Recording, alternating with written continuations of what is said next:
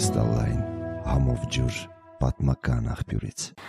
Նշեցիք, որ քննարկել եք նաև Բաքվում պատող պատանքների վերադարձի հարցը, ինչ մեխանիզմներ են իրենք առաջարկում Միացյալ Նահանգների պաշտոնյաները պատանքների, մասնավորապես Արցախի Հանրապետության ռազմաքաղաքական նախնի ղեկավարությանը հայրենիք վերադարձնելու համար։ Մինչև այդ հարցին անդրադառնալ, եթե թույլ տակ նախորդ հարցի հետ կապված որոշակի կարճ միտք ասեմ, որ պետք է բոլորս մեզ համար արձանագրենք, ֆիքսենք, որ խոսքը հավաքական վերադարձի մասին է եւ ոչ թե անհատական վերադարձի մասին։ Կարող է լինել եւ հնարավոր տեսնում ենք, որ դերակատարներ կան, որ հնարավոր է շահագրգռված լինեն ինդիվիդուալը անհատական վերադարձի հարցով, որը մի նրանց համար երես փրկելու գործիք կամ երես փրկելու մեխանիզմ կարող է ծառայել, իսկ Արցախի ժողովրդի պահանջը ոչ թե անհատական վերադարձն է, անհատական վերադարձը հավասարազոր է ընդհանրապես Արցախի նկատմամբ մեր իրավունքների զիջմանը, որտեղ մենք գիտենք իմ տեղեկություններով այս բային Արցախում 20-21 անձ է ապրում եւ որոնք մեծ հաշվով կորցրել են իրենց ինքնությունը, եթե այսպես ասենք, գիտենք ինչ պայմաններում են ապրում, բոլոր հնարավորություններից զրկված, Կարմիր խաչի կողմից ընդհանրը սնունդ ստանալով եւ այլ եւ այլ եւ չեն կարող ասել որ արժանապատիվ հայկական կյանքով են ապրում, հա, հայկական կենսակերպով են ապրում։ Դրա համար շատ կարևոր է ֆիքսենք, որ մեր պահանջները հիմնվում են հավաքական իրավունքի իրացման վրա, հավաքական վերադարձի իրավունքի վրա, ոչ թե անհատական իրավունքի։ Շատ ներողություն եք ձեր ասածից, այսինքն դուք կարծում եք, որ ռուսները հնարավոր է այդպիսի սցենարով գնան, որպեսզի արդարացնեն այնտեղ իրենց տեղակայումը եւ հետախոհումը։ Ես չեմ ուզում մասնավորած մասնավորեցնել ռուսները, ես խոսում եմ, որ նույն Ադրբեջանը 呃啊 երես փրկելու խնդիր ունեն բոլոր դերակատարները, որովհետև ինչպես պարոն Բեգլարյանը նշեց, ցախուղել է ողջ միջազգային հանրությունը։ Ցախուղել է նույն եւ Ռուսաստանը, եւ Ամերիկայի Միացյալ Նահանգները, եւ ՄԱԿ-ի անվտանգության խորհուրդը որպես կոլեկտիվ մարմին, եւ այս առումով երես փրկել միավերաբերում է ոչ միայն Ռուսաստանին, այլ նաեւ բոլոր այն դերակատարներին, որոնք որ մեղավորության իրենց բաժին ունեն։ Ինչ վերաբերում է ռազմագերիներին եւ պատանդարված անձանց իրականում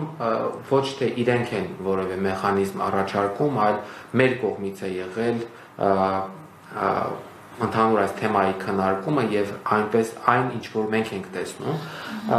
ես անձամբ այս թեմայի բոլոր հանդիպումների ժամանակ այս թեմայի մասին խոսել եմ եւ նշել եմ որ ցավոք սրտի իրավական ճանապարհը Բաքվում պահվող մեր ռազմագերիների եւ պատանդարված անձանց իրավունքների պաշտպանություն ապահովելու հարցում անկարող է։ Եվ մենք դրա դրա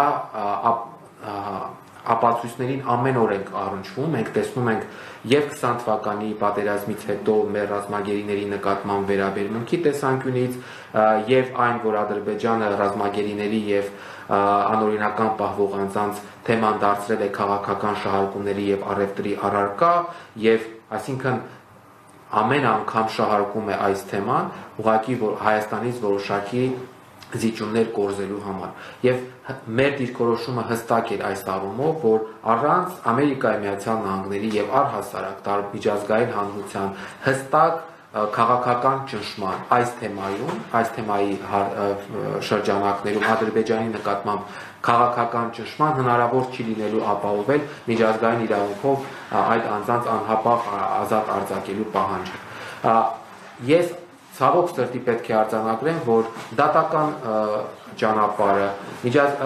մարդու իրավունքների պաշտպանության իրավական այլ ճանապարհները այս տեսանկյունից որևէ արդյունավետություն չեն կարողանում ապահովել։ Եվ հարցը պետք է հստակ դրվի քաղաքական մակարդակում եւ Ադրբեջանի նկատմամբ քաղաքական ճնշումներ գործադրելու մեխանիզմի միջոցով մեկ լրացում քաղաքական ճանապարհով ով պետք է բանակցի միջազգային դերակատարներից սա ով պետք է բանակցի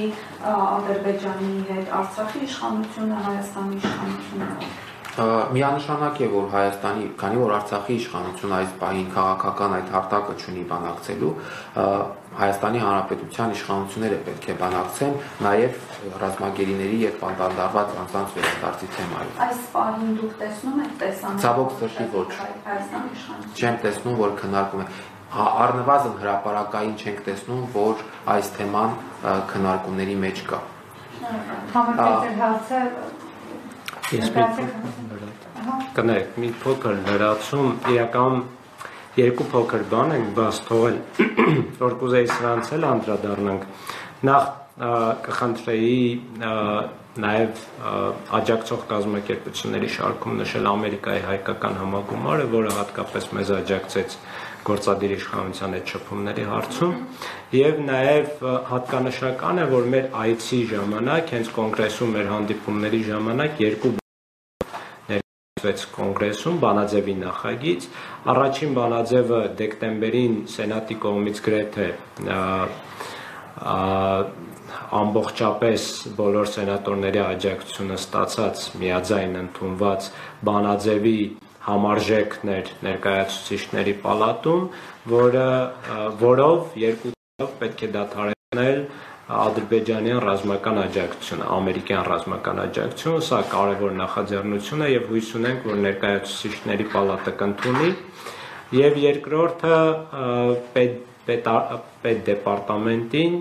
այս բանաձևով պարտավորեցնում են, որ պետք է կոնգրեսին բարբերաբար հաշվետվություն ներկայացնի, թե